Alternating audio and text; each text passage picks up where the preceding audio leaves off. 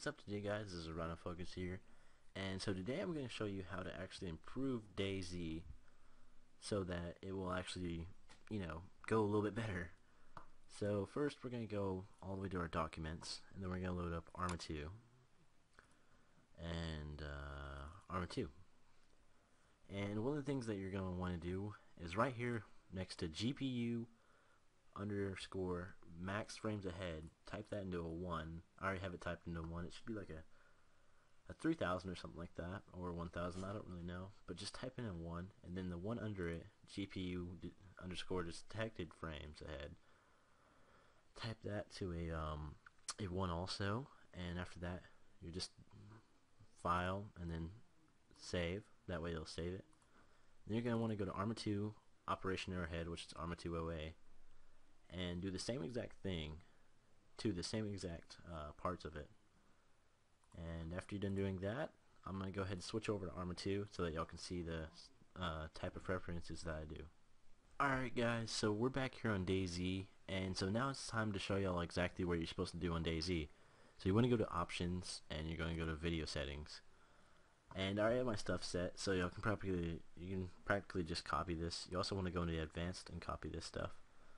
But for the quality preference, it depends on what you're running on. If you're running on a laptop that has like less than 6 gigabytes memory or RAM, then you're going to want to put it on low. If you're running on like 2 gigabytes RAM, very low.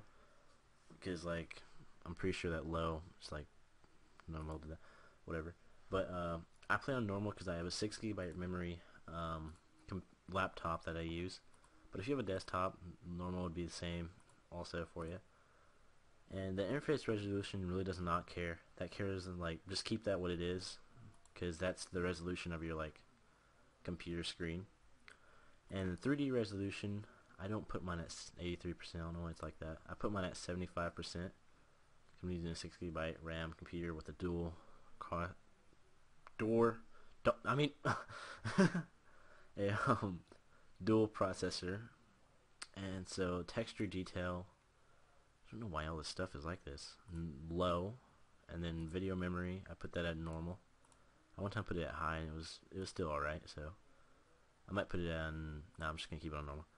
Terrain detail. Now this is something that really takes a lot of memory out of the game. You're gonna want to put that on low because the terrain is like the whole entire map practically, the whole entire map, and that takes away a lot of um, RAM from your computer. And so does the shadow detail, so we're going to put that normal. Shadow detail really does not care. If you can, if you even want, you can just put it on disabled, which is what I'd prefer. Um, also, disable VSync because VSync is really something that you don't need. Um, Post-process effects. I really don't know what that is, but objects detail. Keep this either on normal or low. Depends on your computer. 60 byte RAM. Remember, put that on normal.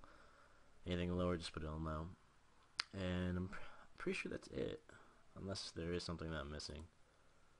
Yeah, that's about right. Um, I don't know what that is. I was checking on that.